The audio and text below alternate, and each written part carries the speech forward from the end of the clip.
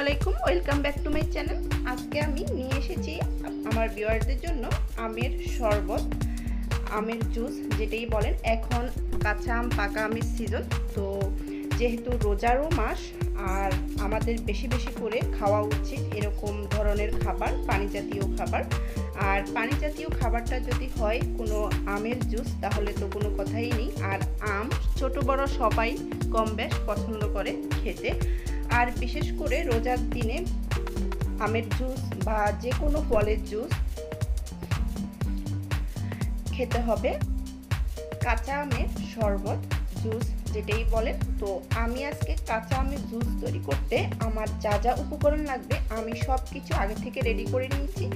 আর আমার এখানে লাগবে কাঁচা আম। আমি কাঁচা আমগুলো এভাবে কেটে নিয়েছি। কাটাটা আপনাদের পছন্দ অনুযায়ী আপনারা কেটে নেবেন। আমি এভাবে কিপ করে কেটে নিয়েছি কাঁচা আমটা। আর আমি এখানে নিয়েছি চিনি। চিনিটাও আপনাদের স্বাদ অনুযায়ী নেবেন। আর আমি এখানে লাল চিনি নিয়েছি। আমার বাসায় লাল চিনিটা বেশি আমরা পছন্দ করি, তাই আমরা লাল চিনি নিয়েছি। আর নিয়েছি আমি এখানে বিট লবণ। বিট লবণ নিয়েছি। আর নিয়েছি আমি গোলমরিচ গুঁড়া। আর এখানে আমি নিয়েছি কাঁচামরিচ কুচি, পুদিনা পাতা, লেবু। এই সব উপকরণ দিয়ে আমি এই কাঁচা আমের শরবতটা তৈরি করে নিব। আর আমি এখানে নিয়েছি ফ্রিজের এক বোতল ঠান্ডা পানি। এখন আমি শুরুতে যেটা করব, এই যে এখানে আমি ব্লান্ডার জগ নিয়েছি। আর ব্লান্ডার জগে এখন আমি আমগুলো ঢেলে দিব। তো আমি আমগুলো ঢেলে দিয়েছি। এখন আমি এ পর্যায়ে দিয়ে দিব চিনি। চিনিটা আপনারা যে যেমন মিষ্টি পছন্দ করেন এখন আমি দিয়ে দিব এখানে বিট লবণ। আর আমের জুসটাতে একটু লবণের পরিমাণটা বেশি হলে ভালো হয়। আর আমি এই তো এখন দিয়ে দিচ্ছি গোলমরিচ গুঁড়া। আর আমি দিয়ে দিচ্ছি পুদিনা পাতা। পুদিনা পাতাটা দিলে ফ্লেভারটা ভালো আসে। আপনারা চাইলে দিতে পারেন, না চাইলে স্কিপ করে দিতে পারেন। পুদিনা পাতা আর দিয়ে দিচ্ছি কাঁচামরিচ। কাঁচামরিচ, ডাল যে যেমন পছন্দ করে, আমি এখানে কিছুটা কাঁচামরিচ দিয়ে দিচ্ছি।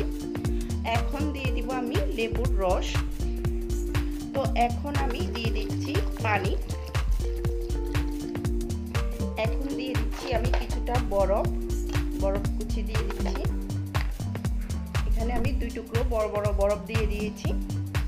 এখন আমি এটাকে ব্লান্ডার করে নিব।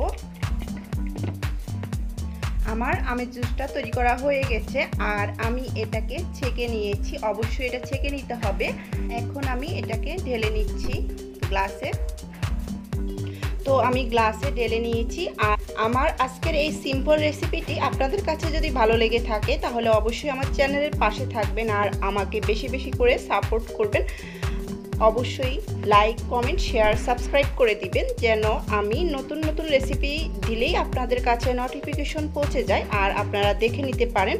আর অবশ্যই আপনাদের সাপোর্ট প্রয়োজন। এরকম নিত্য নতুন রেসিপি পেতে হলে আমার চ্যানেলটির পাশেই থাকবেন। আল্লাহ হাফেজ সবাইকে।